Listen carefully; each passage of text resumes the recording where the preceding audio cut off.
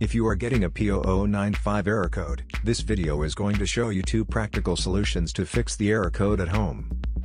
Use the ZUS app to scan your vehicle and see the error code P0095. It indicates that the ECM has detected a voltage from the intake air temperature sensor that is outside the normal range.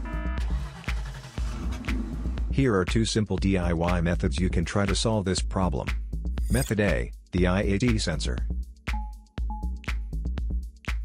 The IAT sensor could be on the throttle body attached right to the intake manifold. First, carefully remove the IAT sensor from the vehicle. Visually inspect the sensor to make sure it hasn't been contaminated by a leak from another engine component. Use a multimeter to proceed a test on the IAT sensor. In order to get a correct reading, check your owner's manual to see the specific IAT sensor resistance range for your vehicle.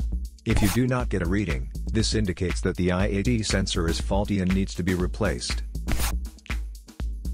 Method B, the air filter. Locate the air filter housing.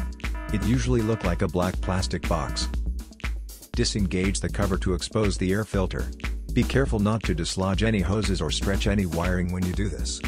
Remove the old filter carefully. Pay attention to the orientation of the filter as it comes out of the housing. Clean out any excessive dirt or debris inside the compartment before installing the new filter. Follow the orientation of the removed filter, and put the new filter in place. Make sure the outer seal is seated properly before closing the cover. Close the cover and replace the clips and screws. So here are two of the most practical solutions to fix the P0095 error code. After the repair, you can now use the ZUS app to clear the error code. And tap the rescan button one more time to make sure everything is fine with your vehicle.